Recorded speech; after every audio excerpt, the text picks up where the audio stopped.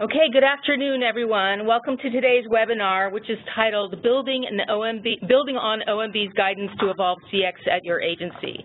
My name is Janine Ray, and I'm a senior leader in Deloitte's 140-person strong customer strategy and applied design practice, as well as a longtime member of ACT-IAC's CX community of interest. I'll be moderating today's panel. This webinar is being sponsored by ACT-IAC, which is a premier public-private partnership established to improve government through the effective and innovative application of technology. ACT-IAC's customer experience community of interest was established to galvanize a community of government and industry leaders who are involved with improving citizen experience across the federal landscape. The topics we cover include things like driving customer-centered culture, training and professional development, and tools and best practices used to manage customer experience. In the case of today's webinar, we'll be making a deep dive on CX measurement. If you're interested in joining our community of interest, go to the actiac.org website and search for CX Community of Interest. Here you'll find instructions to join as well as links to other upcoming events. And speaking of upcoming events, I want to also let you know that our CX about our CX Summit 2019 which will take place on Tuesday, June 25th from 7.30 a.m. to 12.30 p.m. at the Grand Hyatt Hotel downtown. These are always fantastic events that I can highly recommend. The theme for this year's event is Customer Experience, a Unifying Vision for IT Modernization. We want to thank ACT-IAC as well as Deloitte for sponsoring this event. Uh, we'd also like to thank our panelists as well as all of you for taking the time to tune in. Next, I'm going to do a quick introduction of our panel, and then we're going to dive into some introductory materials background. Okay, first, we, yes, um, first we have Amira Boland. Uh, Amira is currently on detail at the Office of Management and Budget to support the implementation of the Customer Experience Cross-Agency Priority Goal and A11 Section 280 on managing federal customer experience. In her home agency role, which is GSA, she serves as the Deputy Director of the Office of Evaluation Sciences, an interdisciplinary team of experts that translates and tests evidence-based insights into concrete recommendations for how to improve government. Next, we have um, Michelle Cartagena. As Director of Customer Experience at the Transportation Security Administration, Michelle is responsible for facilitating its customer service initiatives and has just embarked on a fairly large measurement undertaking, from what we understand. In addition, under Michelle's leadership, the TSA Contact Center operates as the main portal for inquiries from the traveling public, addressing more than 1 million passenger contacts per year.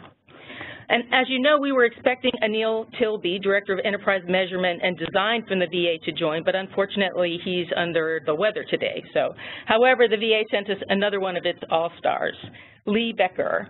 Lee Becker currently serves as the Chief of Staff at the Department of Veterans Affairs Veterans Experience Office. The VEO's mission is to enable the Department of Veterans Affairs to improve the customer experience for all veterans, families, caregivers, and survivors. Prior to this role, Lee served as a division chief at the Board of Veterans Appeals, where he provided leadership and development of VA appeals modernization efforts to help reduce the backlog of veterans appeals. And Josh Knight, my colleague, Josh leads strategic management of our overall VOC program for Deloitte's Customer Strategy and Applied Design Practice, providing insights and customer strategies at the enterprise level across, across mission areas. Before I turn it over to Mira, I thought it might be useful to look at the history of CX initiatives in the federal government. You can see that up until about 2015, we had many piecemeal initiatives, primarily focused on how to make government more digital. In the last couple of years, we've seen a different theme emerge, which is trying to encourage agencies to think more holistically about the management of customer experience, IT modernization, measurement, best practices, management of customer experience, digital, mobile, those kinds of things. As more of, best practices from industry have been codified, these ideas are making their way into government in a big way, culminating in these big initiatives of 2018. So as someone who spent most of her career in industry serving large service organizations, I can't tell you how great this is to see. Four or five years ago, people, few people uttered um, the word customer experience, and now it seems to be top of mind for many agencies. With this, we're going to turn to Amira to help us understand more about the OMB guidance and what it all means in how agencies need to be thinking and acting about customer experience in the future. Then Josh is going to give us some thoughts about methods and tools to support your efforts. Amira? Great. Thanks for having me, and afternoon, everybody. Um, so hopefully those of you on the phone who are in government and I guess and outside of government as well are feeling this new energy around customer experience. Um, and so that's really been driven by this administration created um, decided that creating a customer experience that compares to or exceeds that of leading private sector organizations is one of the three primary goals of the President's management agenda. So as many of you probably know, federal, uh, the federal government is the lowest ranked industry for customer experience on several indices. Not only are we nine points on average behind um, the private sector, but we're even behind local and state government as well. And, um, you know, so we're excited that now there's this focus on customer experience because in the past, and as Janine walked through in the history of, there's been a lot that's, that's happened in this space, but um, the last customer-focused goal was on customer service, and now we've evolved to really looking at customer experience and thinking more about the lifetime of interactions that individuals have with our federal government. And so we care about this, obviously, because we know that increased customer experience uh, leads to increased customer satisfaction, which is also causally linked to increased trust in government. And trust in government is really the outcome that we care about because we know that um, when people trust the government, there's an increased tendency to follow the law, comply with regulations, and then many of our programs and policies success is dependent on human behavior and people, you know, knowing that they can show up to in, in, a disaster that the, that the federal programs will be there to serve them, that if they take out a farm loan, there's services that go along with that to help make their farm more successful and, and all the other things that our government does. So um, the actions related to the President's management agenda is the establishment of a cross-agency priority goal on customer experience, and the CAP goal um, provide, provided an overall action plan for improving CX across government, and two of the strategies that um, are part of the four that are supporting that are um, really directly related to federal agencies themselves and, and, A11, which we'll get to in a second. But that the first one is increasing transparency to drive accountability by embedding standardized customer experience metrics with high-impact programs to create government-wide performance dashboards. And the third strategy was applying proven practices to raise the standard of service of high-impact service providers and um, OMB would develop resources, capabilities, and tools proven to enhance uh, the performance of high-impact programs. And so that leads us to our um, bit of an unsexy bureaucratic move, but that's the, the annual update to the A OMB Circular A11 last summer um, at the end of June was the inclusion of a brand new section on improving the customer experience. And that new section aligned with the PMA using principles and practices proven by leading private sector organizations and is our first step toward a more broad federal CX improvement effort. So the purpose of this guidance, um, Deloitte has this great graphic here that kind of outlines what we're trying to achieve, but really it's establishing a CX mindful culture across federal government services, improving customer satisfaction by actually measurably improving those scores that we talked about establishing, providing structure and consistency around how agencies and programs approach CX. As you can imagine, there are as many definitions of what good CX looks like as there are agencies of government. And so really we tried to um, design something that would just provide a baseline for everyone to be working from, identify program accountability and governance mechanisms, ensure that the high impact programs are making progress in growing CX program maturity and applying best practices, um, ensuring that those high impact programs are receiving and acting on customer feedback, um, and then allowing for government-wide uh, comparative assessment of customer satisfaction while ensuring transparency through public reporting. So it does a number of really key new things. One of those is asking all of our agencies that are high-impact service providers to complete a self-assessment that was um, designed along a, a, CX maturity model um, start to begin to report quarterly their CX data and then use those what they learn from both their self-assessment and comparing themselves to and looking at their own practices and how those align with best practices to and collecting customer feedback data to create action plans annually in alignment with their strategic planning efforts, their budgeting efforts, um, and their general performance management. so um, just a note on the high impact service providers because we often get asked who are they and why did they get picked. Um, it's, it's a bit of a legacy list from the Core Federal Services Council for those of you that remember that.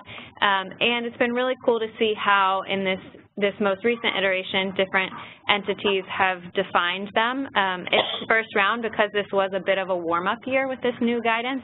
Um, we left it to the agencies to define how they wanted to scope who within that high, designated high-impact service provider was responsible. So you have everything from the Social Security Administration that is holding themselves accountable at the administration level to um, the Department of Interior, National Wildlife uh, or Fish and Wildlife Services selected the National Wildlife Refuge System to uh, Customs and Border Protection has identified a specific call center that aligns with a number of visa programs. So it's, it's very different this first year, and that's fine. Um, we're, we're also learning as we go, um, as we implement this guidance, and always open to feedback on how you think the A11 guidance could be made stronger. So if you're an agency on the phone and, and have an idea, please let us know.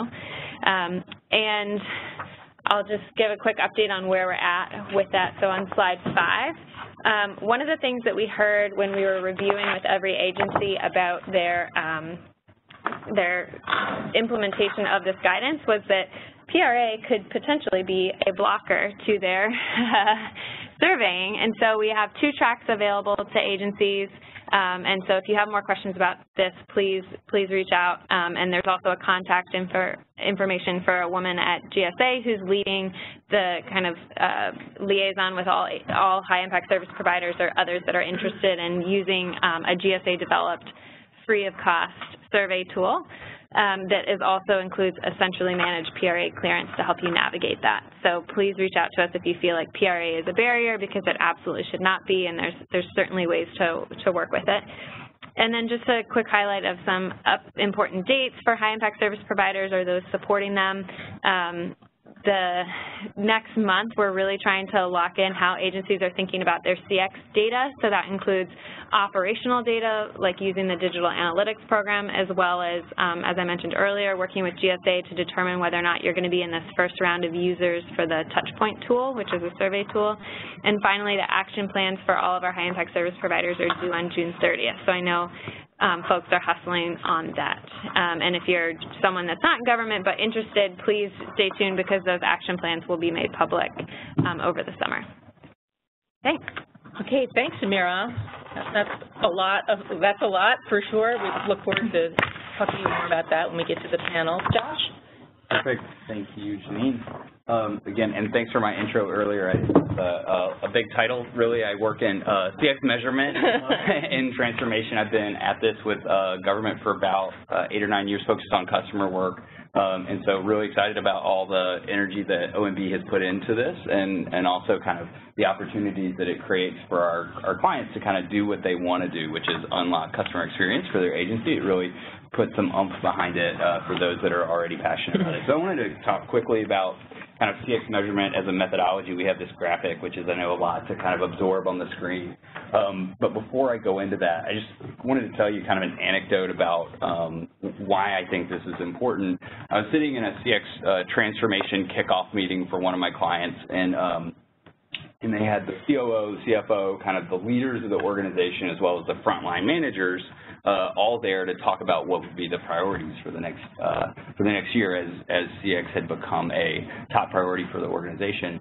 And uh, the plan was to kind of review a list of options for things to, to, to prioritize, and it became clear very quickly that that wasn't going to work because the CFO and the COO said, we're not going to make any decisions about priorities without data, right? And as you all start to think about and absorb kind of how you're going to chart the path for CX going forward, um, I want you all to kind of think about that anecdote and think about how are you going to structure a way, if you're going to change the organizations that you uh, that you serve and you hope to hope to impact, um, how can you help your uh, your executives really really navigate those types of decisions? So Um, you know, to do that, to do it well, it's important to think about doing it really comprehensively. I've been in places where I've uh, seen, you know, a bunch of different surveys that measure different types of things and different structures and different ways, and there's no way to integrate it. So a thought for what that architecture looks like and how to how to bring it all together is really critical, and then a, and a thought for how to um, make sure that it's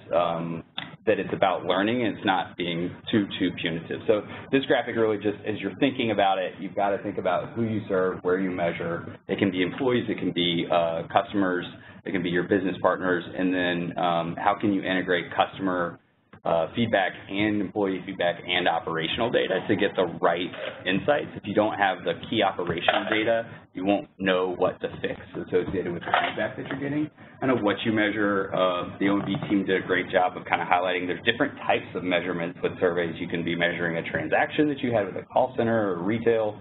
You can be measuring the whole journey, journey for signing up for and receiving some benefit. You can be measuring the relationship with an agency over a long period of time.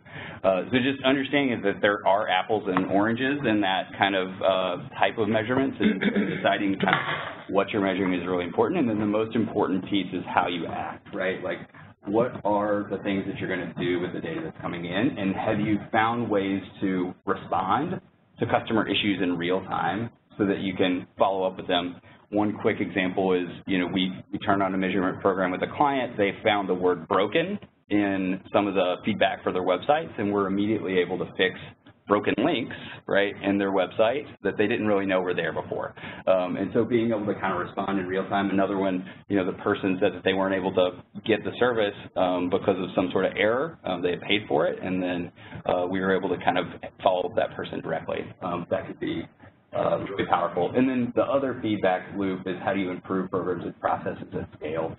Um, so, so the, those are kind of the frames for where, where, we think about it. The why is driven out of industry. You know, uh, uh, major industries want to improve customer experience because they know the more satisfied, more loyal customers spend more um, they cost less to serve. And when people spend more and you cost less to serve, then more profitable. So, uh, so that's the line. And I think beyond a little bit, this is my point of view, beyond kind of what Amira said, I think that this is kind of the headlights for success for government in a lot of ways. The way to see forward whether or not our programs are having the, the most impact is, is going to be reflective of how satisfied I think citizens are with it. So um, so that's just a little framework about that. A little bit about the tools that are at your disposal. Um, industry has gotten really far ahead around CX technology, and, um, and we try to be really careful to pick the right tool for the right client at the right time.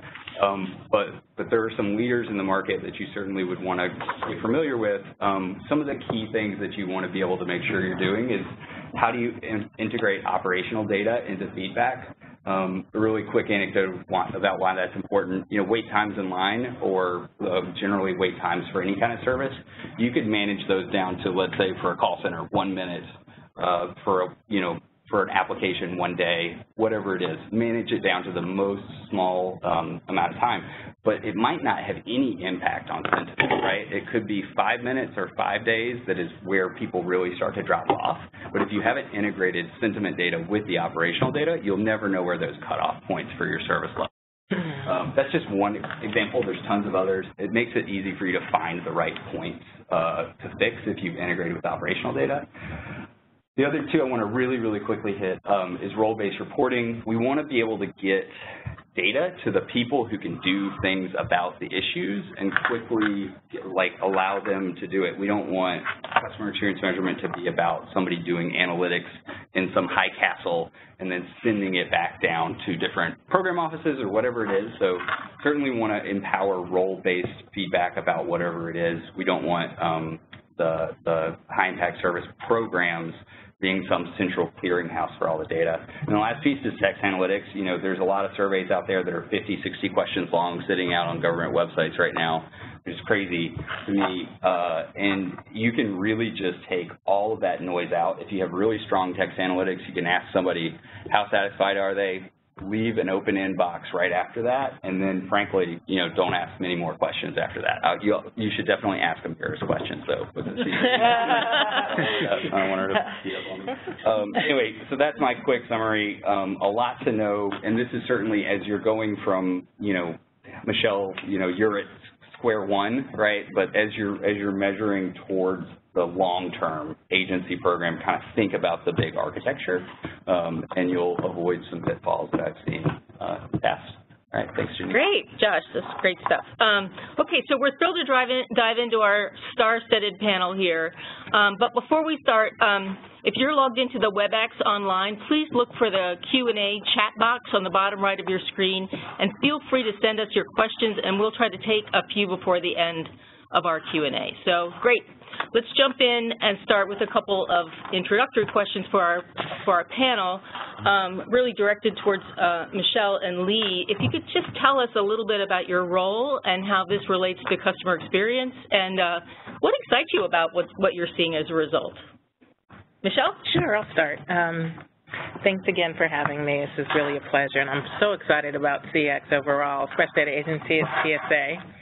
Um, everybody's very familiar with the organization, and so um, areas of improvement are definitely on our focus. Uh, as Janine had mentioned in the intro, um, I manage the customer service branch, and the branch initially started out as a contact center branch, only focusing on how we interact with people through a call center, through emails. Um, but we quickly realized that uh, CX is not about a contact center experience solely, but also um, branches out into the overall customer experience. So um, that's the role of the, the customer service branch now at TSA is one side is facilitating the customer experience across the agency, and the other side um, helps to manage our contact center. Amazing. Thank you so much for having me. This is Lee. Um, and, you know, my, my role essentially is really at one of the best jobs in the world is because I work with some of the most amazing people that are um, really just focused on really improving the experience for um, service members, our veterans, families, caregivers, survivors.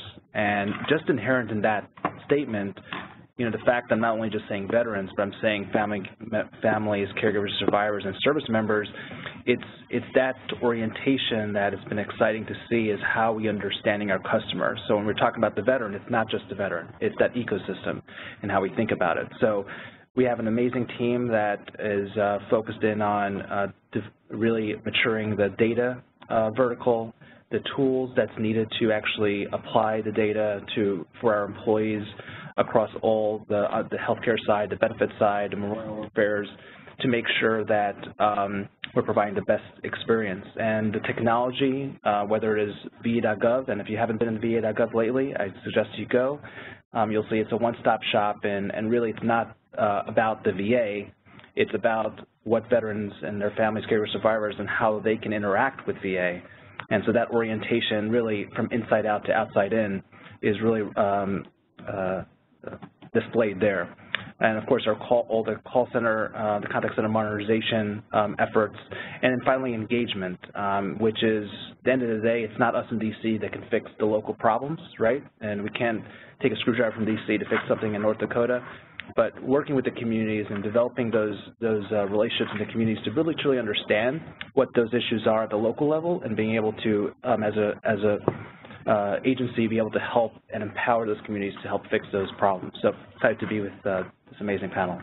That's great. Um, okay, so you know we we, um, we there was a lot going on before um, A11-280 arrived, um, but uh, we know it came and it was very influential. So I want to ask um, Amira, how has it really been received by your high-impact service providers? What kind of interest have you had? What how have you been interacting with them, and and and uh, how do you think they're doing? Uh, in, the, in acting on the guidance.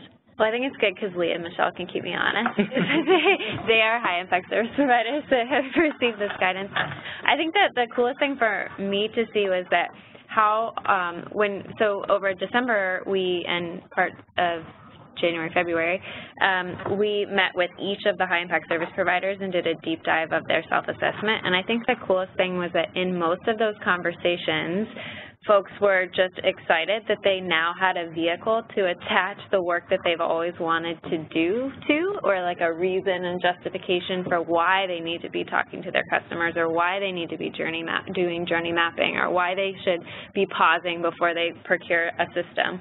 Um, and so I think that was really encouraging that it was, and, and hopefully for our purpose was basically just providing um, a framework for, for folks to be able to lift up the work that they already want to do and help them get some top cover support.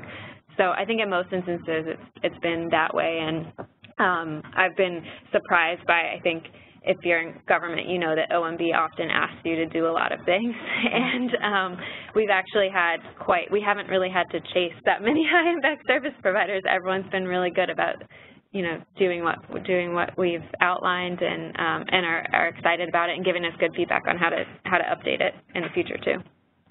That's um, that's great. So um, diving into to uh, the two that are sitting uh, sitting with us, we we know you probably were thinking about this before uh, the guidance came. Um, so can you tell us a little bit about how things stood before it came, and then what happened um, afterwards because I think it, there was a lot more directive than maybe um, maybe many organizations had um, uh, thought out before, and so anxious to hear.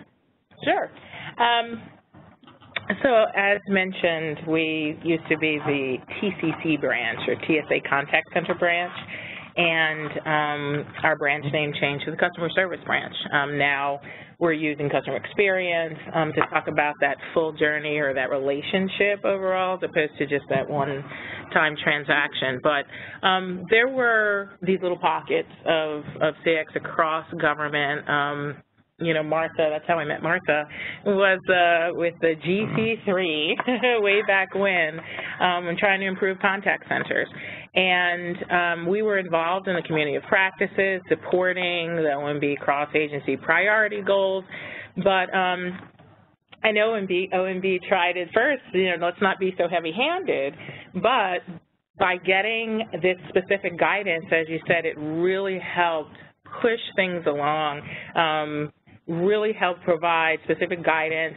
Although we were moving in that direction, I understand that there's agencies that are sort of like, I have no idea where to start. And so kind of laying out this map that really helped them get started on their journey.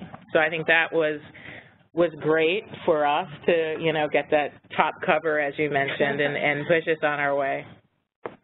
Yeah, great. And Lee? Yeah, I mean, it's, it's interesting because we, you know, we started the journey on experience, I would say, really kind of focusing on experience. Mm -hmm. It was really when, when uh, we had a burning platform, and the burning platform was Phoenix. When Phoenix VA, we, um, we were blindsided by because um, we did not hear, we didn't have a mechanism to hear from our customers.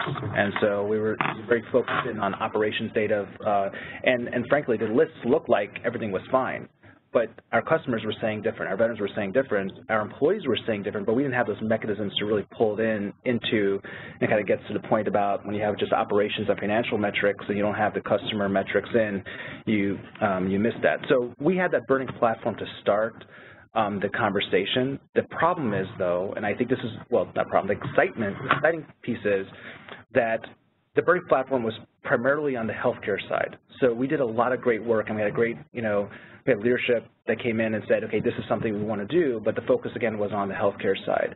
And so what this, um, what the A11 does for us is also says to us, you know, it's not just the healthcare piece, right? It's the mm. it's those other aspects. And, um, and so let's not wait for another burning platform to start thinking about experience and think about the importance of experience. Um, because guess what? Experience is here to stay. Mm -hmm. It's here to stay, and you see it's very, the, um, the administration is very serious about it. We have clear, um, uh, the A11 is pretty clear about what's expect, expected. And so that, that provides us, we're very excited about that because that enables us to really uh, create this uh, demand of why that's needed if, you know, if that's unfortunately the reality is that's what's needed in government to have those clear policies, the direction um, to be able to compete with other uh, competing commitments that we have. Yeah, I think, you know, the way it's laid out also is so great because it codifies all these ideas that otherwise might be swirling around and it's all in one place so that somebody that's never experienced, doesn't understand customer experience very well, what's the purpose of customer experience, how are we're going to go about this and, and so forth. So that's a really a great point about it being, uh, being all codified, people can understand it and you've got direction, whereas you could go in a lot of different directions otherwise if you didn't have, uh, uh, have that. So, you know, both of you have different agencies.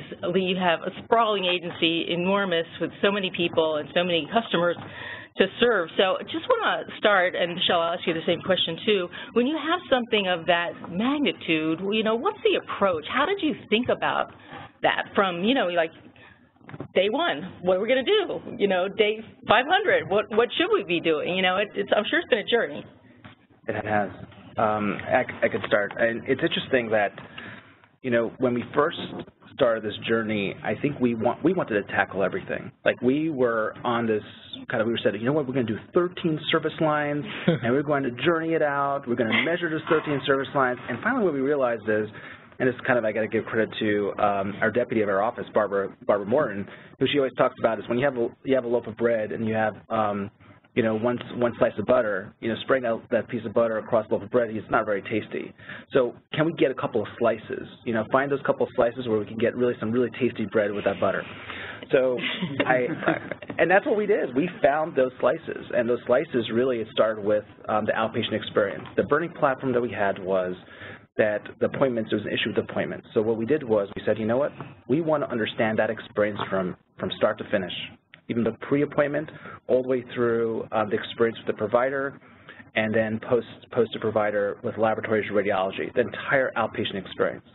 And and that was also something another it was strategic in the sense that that was also um, one of our largest uh, service lines when you think about patient. Or, you know, we have, we're 150 medical centers, you know, 800 clinics, medical, um, you know, clinics across the country. So it's, a, it's a really a massive outpatient op operation. And so by measuring that experience, understanding the moments that matter, and being able to then measure, use the, the framework of the, of the A11 to be able to measure in the moments that matter, and then bring in the operational data as well, we start understanding what that is, and then taking that data and being able to really inform the strategy, the programmatics, the operations, and tactics, and be able to rewire into, into the process. Now we had a use case where we could show the agency, look, this is really working. And, and so we put the other parts on pause, and now with that use case, now there's a hunger of, okay, now we want to see more of this. So we started, um, you know, ramping up the other the other lines of uh, uh, lines of action. And so I would say is, you know, it's tough because when we have a you know, you have uh, a lot of demands, and it's like, well, we want to see action, we want to see results. It's, it's finding those those opportunities in, um, you know, those those slices of bread that really shows that impact to leadership, and then be able to prove that concept, and then use that as a way to um, gain momentum and build more momentum. And you're forging your way, so now you know what to expect the next time you go to something like that. That's a big a thing to tackle. Absolutely. In that whole scenario, what do you think were your biggest challenges? There must have been many. Right. I mean, it's, you know, so the VA and, and typically most agencies are really consensus-based, right? It's a consensus-based organization. So how do you, how do you actually, and a lot of it is stakeholder engagement and being able to work with it. It's, it wasn't us coming with a, a hammer and saying, hey, you will do this because we're from the Secretary's office and we're here to help you. No, that's not, how the, the approach was. We really used this, and I, I got to give credit to you know, Anahito, who's the, the you know, CXO for today, she kind of says, you know, change therapy right? Using this as a way to to really help with um, bringing employees in, and they were part of the success. Yeah. And frankly, they wanted to do this. They wanted, they just did not have necessarily a mechanism how to do this. And this, we just provided this vehicle to do that and to allow it to allow it to happen. Another thing is really getting our leaders on board and really being able to keep make sure because leadership is a key aspect with being able to really drive this and giving, giving, empowering our leaders to be able to use this, this approach, this methodology, in being able to um, show this, show the success and, um, and, and so I would say I would say it's the stakeholder engagement, leadership, finding those champions, building the coalition, and using that to drive um, this effort. That's beautiful. I remember um, I think was Sarah Brooks told me that uh, Bob McDonald was the first, you know, first secretary ever to take a journey map to Capitol Hill with him, which was a really brave thing, and I would have loved to have hear, heard what that conversation was. But that's a that's a great uh, great summary. And and Michelle, your agency is different. Mm -hmm different mission and so forth. How, what was your approach in, in, in, in doing these things and what kind of challenges? You're probably still, you know, we're still encountering the yeah. challenges. we're still cha being challenged. Um, well, as Lee mentioned, um, I think VA really set a great model for other agencies because you guys were so far ahead. And so um, we had already started efforts, for example, for data collection. We knew what needed to be done, but it was just more, how do we do this? So let's use in-house resources. Let's sort of do the homegrown version of activity. So when A11 came around, we were like, wow, this is great. Now we have, you know, roadmap, we have a way to do this, we have, again, the top cover. Um, so it really gave us that backing and gave us the direction. Um, but on the other hand, um, there was there were challenges related to communication and as you mentioned where do we start we wanted to do everything because you know you have the champions especially folks on my team that are like wow, this is fantastic. Okay, let's fix it all. And um, and when you try to bite off too much, um, you're not going to be successful. And so with our first attempt with, um, well, we had a council, with our first attempt, um, we started out, came out strong, but we just bit off too much. Um, too much to, to make progress. So we, we learned lessons there. Um, and now we got a chance to reset and take a pick, you know, take a look at where are we, where do we want to be, and how are we going to get there. Um, and so we're still mapping that out as to how, how we get there. I mean, we're great.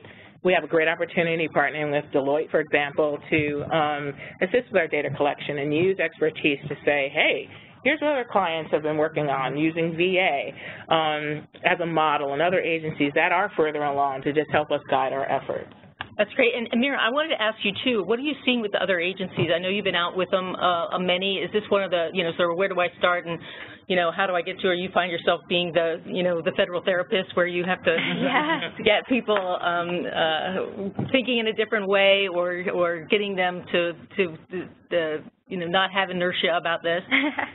yeah, I think a lot of the conversation started out as therapy. Um, but no, I think that like Tim and Michelle made a point earlier around, you know, there's some agencies that are just starting and then there's agencies like hers that have a branch named after this and then there's agencies like Lee's that have a 100 person office dedicated to this. And so we joked that like it just looked like polka dots when we mapped out the, everyone's maturity um, because you have you have entities that have had no staffing, no resources to even, you know, they're struggling to do their basic functions and or have a population that um, doesn't have broadband access or good cell phone service. And so they like laughed when you asked them about doing a survey. So I think that um, you know it, it runs the gamut, and um, but but again, it just goes back to like this. It just there's so many civil servants that are connected to their mission, and they just this resonates with them so much, and so they're excited about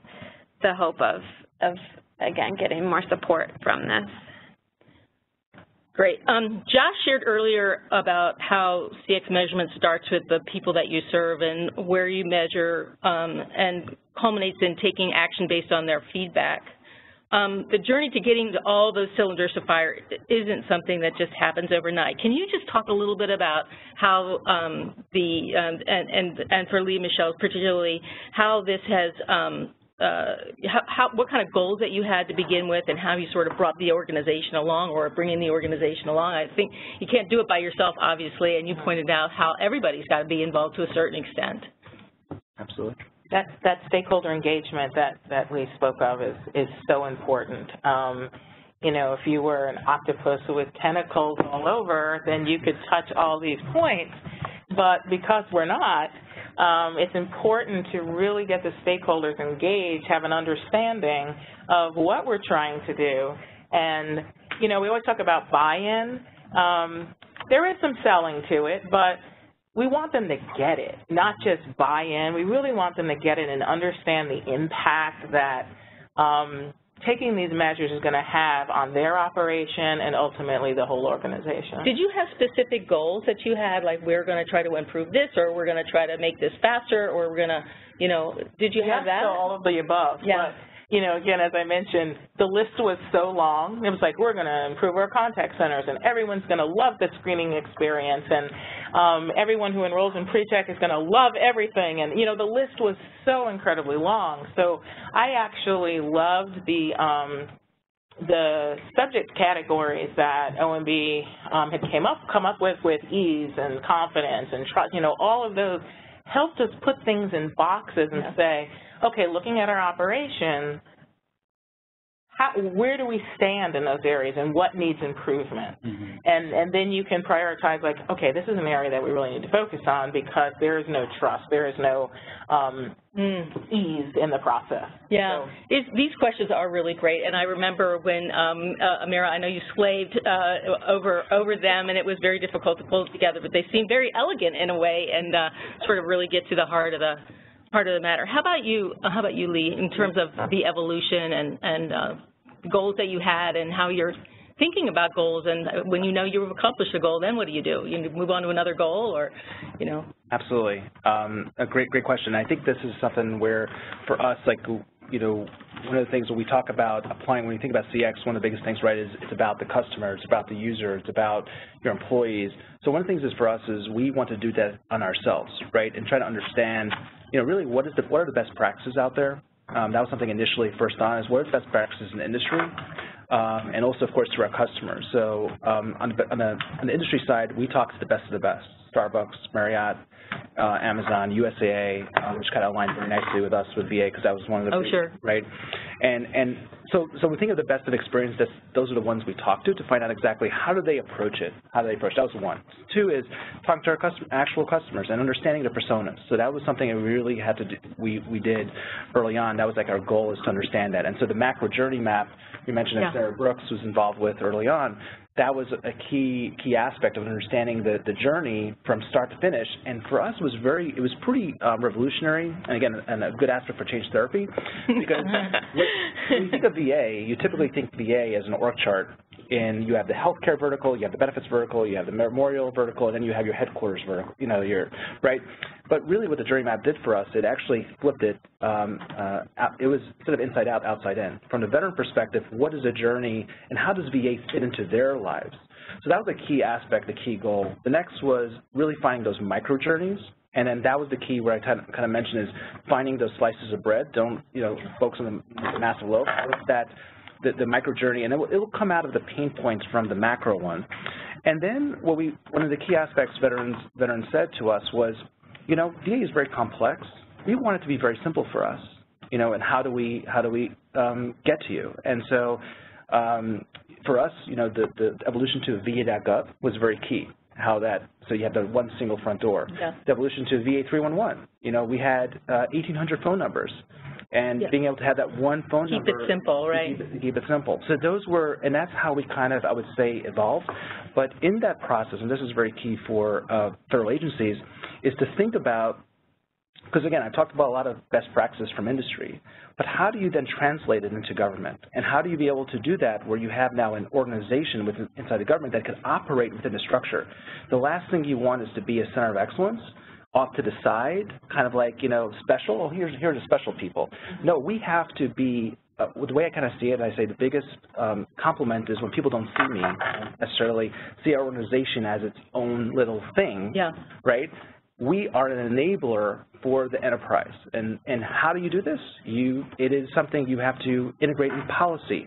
You have to integrate in, you have to create a governance. Every organization, agency has a governance structure. How do you bake in your CX insights into the governance, into decision making? Because you know there's operational financial decision making that's being happening every time, but how are you integrating those pieces?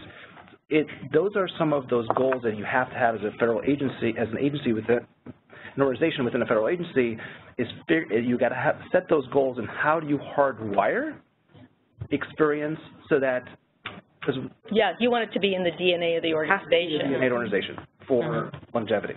Yeah, and I, think that's, you know, uh, that's a, a realization that many people are coming to now because they realize that they have to stand up these customer experience offices, that they're, that they're multifunctional, that people have to play from all the different functions, and, uh, and it's, it's not an easy thing to stand up anything, but, but certainly, uh, uh, this is critical for being able to do it well. You can, you know, you could play around with something, dabble in something, do ad hoc operations, but if you don't have that overall uh, structure, it's very difficult for all the things that you're talking about in terms of structure.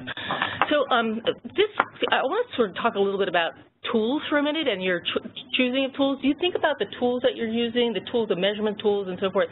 Do you think of uh, uh, as is it, is it a, is it one thing that you do? Is it many things that you do? Do you have a portfolio of tools?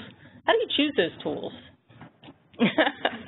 sure. Um, so tools are very important, I think, and as you prioritize and figure out, again, what are those slices of bread uh, that you want to pick, you need to, those are the tools that people then will, their employees will, will it should make those, their jobs easier in how they apply it to improving the experience. So when we think of tools, we think of it in, in you know, as, as simple as maybe a and I say it's simple, it's not that simple, but a welcome kit, for instance, a, a one-stop shop welcome kit where a veteran wants to understand all their services and benefits. They have this one-stop shop and how to mm. be able to navigate. And it's not a complex, very complex manual in, in how to address it. A tool could also be customer um, experience training, actual and very simple train, very simple. Because we think about customer experience, it's the empathy piece, right? So how do you give um, you know, how do you help their employees to, to bring out the empathy? Tool can be to as elaborate as a, a very um, sophisticated uh, measurement system, yeah. which is something something that we have, where it gives you the real-time insights. You know, it, it scrapes all our social media, scrapes all our um, or properties to be able to understand in real time what our um, the experience is. It could be red coat ambassadors. Veterans told us it was, it was hard to navigate the medical center. So what we did is we have we implemented a tool where every medical center there's a consistent experience with a red coat that's going to help veterans to navigate. Just like you know, so we think about this. It could be a name tag. You know, very very simple. So those and that's something that Starbucks does, Marriott does. FCG. It's, they did a, yeah. they did right. a name tag. That's right. And so those are those are um, so tools can be as again as simple. That's a great description of what the tools can be, and I'm Mm-hmm. sure you picked up a lot. That's probably one of the reasons that so many people can come to you now because you know all these lessons and you can uh, you can uh, and relay them. And Yeah. Michelle, what about you in terms of what you're thinking about? So um, I'll take passenger screening, for example, Mhm. and um, a lot of people can go through the screening process if they understand the process. And so um, we have advisements that officers give individuals as they go through the screening checkpoint, but sometimes based on the atmosphere, it might be difficult to hear or understand. So one thing that um, we've explored is like digital signs.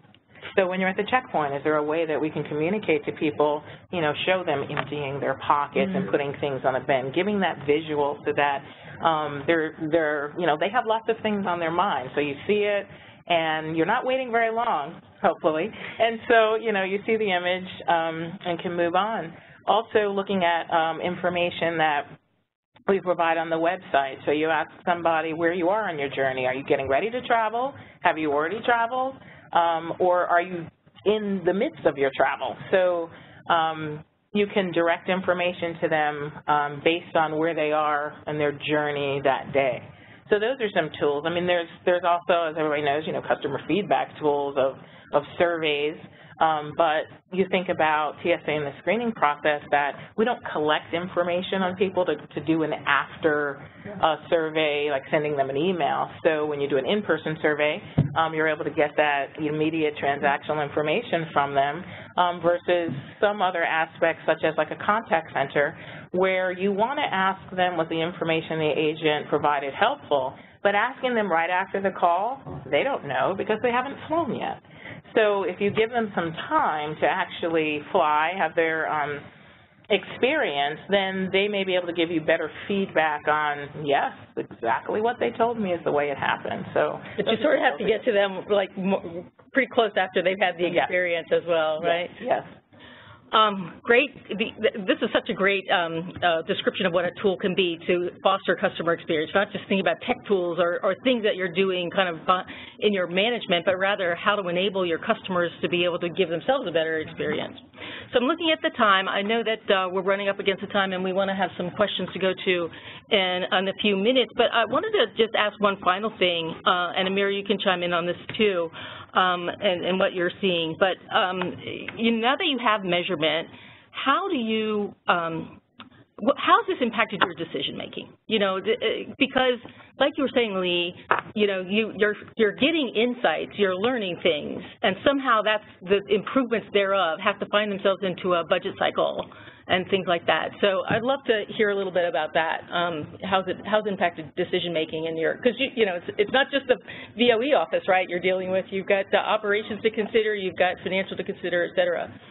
Absolutely, and that's something um, we are um, we're very excited about because I think to to us we think that is some of the most transformation. That is where transformation happens because to kind of the point Josh made about data, how data kind of drives it.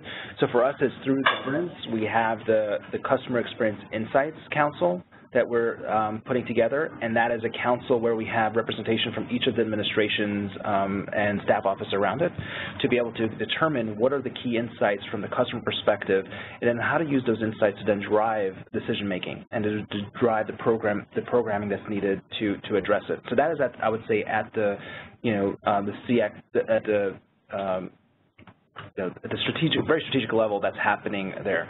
We're also having, um, on the healthcare side, we have, um, that there's a patient experience council where those insights are feeding into it, so for them to decide on how to, um, you know, which type of initiatives should they focus on as well. We've also been able to do is integrate those insights. So as we think about this insight, this channel, where should this channel, where should be the, all the areas that this channel should feed into driving decision making, better decision making from the customer's perspective. So we have this massive, the VA has this massive innovation research apparatus, massive, which is saving, not only helping, of course, veterans, but saving our, it's, it's, it's informing how to improve healthcare for um, our nation and the world. Um, and so mm. billions of dollars, right? But how do we then make sure, instead of like, you know, again, a lot of good things are happening at the local level, but can there be an opportunity where, you know, if we know opioid, right? Opioid is a massive issue, right? We, we have suicide, suicide epidemics that we're dealing with. How do we then, you know, through some of those insights, how do we help drive our, our decision making and our innovation and research portfolio. So those are some of the examples where the power of taking those insights and really putting into this governance structure um, you're able to really help drive decision making and drive and, and also drive, like I said, budgeting and how we how we yeah um, yeah and and you'll find that we're actually could be saving money because we're in a way or avo avoiding costs because we're targeting um, the, the budget to where it really matters. Yeah, yeah, that's fascinating. I, I, I, we don't have time for it not right now, but I'd love to hear your thoughts about how it would happen before you had this measurement, because I'm sure it was very, very different. How about Amira? Just quickly for you, what are you what are you seeing about um, you know with, in agencies that have somewhat of, uh, of an apparatus built for for measurement? What are you seeing in terms of how they're able to make decisions? Is it something that's you know remarkable to them, or is it something that you know that uh, is not showing big, big things yet? I think, to be honest, it's, um, you know, there's still not a ton of agencies that have the data to be able to make those big decisions. Um, but but most are kind of just starting out or have been doing customer experience surveys sort of ad hoc. And so what we're recommending to them is that it doesn't have to be this overwhelming start.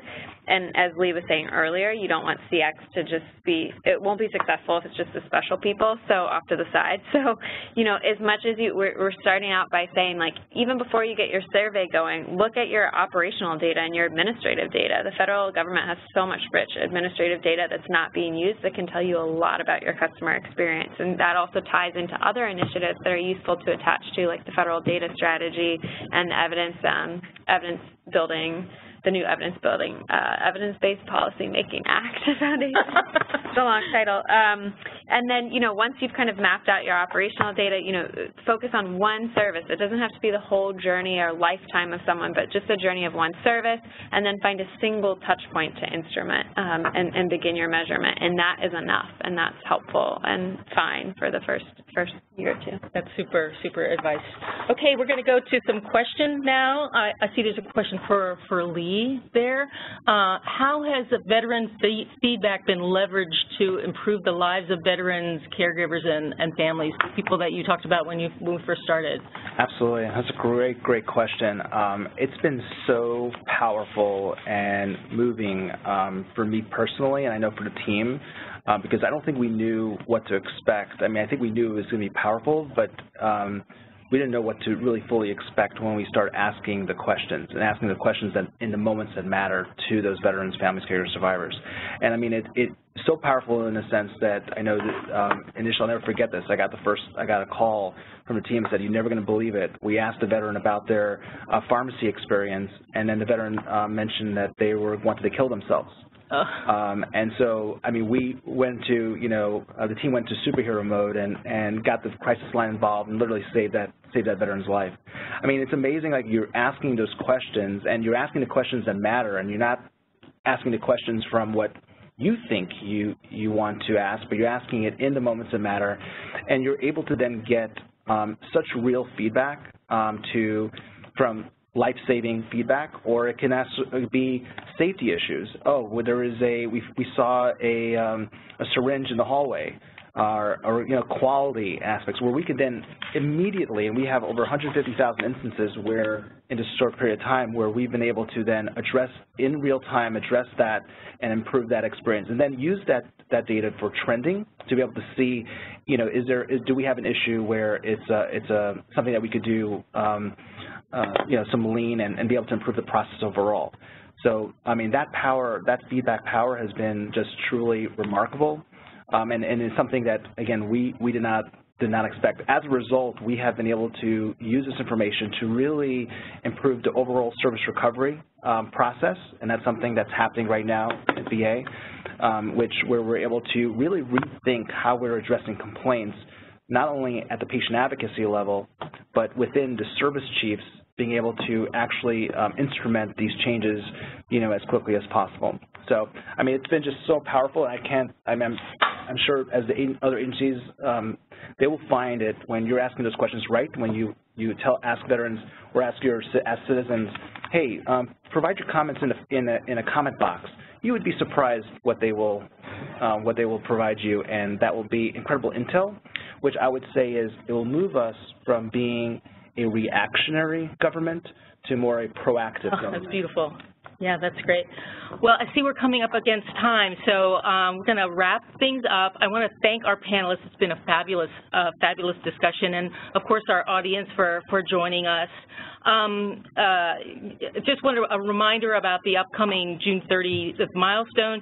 Your agency needs to complete its CX program maturity self-assessment and plan. Uh, there's a template provided on performance .gov page that you can use. And don't forget to register for our annual CX Summit to be held on the morning of June 25th. And note, we're going to send follow-up materials, including the infographic we covered earlier. And as well, uh, I don't know if we mentioned, we're recording this webinar, so um, you'll be able to access it later if you want to play it for some people in your agency. I think it's been a fabulous discussion here, and I want to thank, thank everyone again. And um, best wishes for the uh, rest of your day. We've enjoyed bringing you this webinar and uh, wish you all the best in executing OMB's A11 guidance. And don't forget, if you want to join ACT-IAC's community of interest so you can help keep on top of all things government, we'd love to have you as a member. So bye for now. Thank you.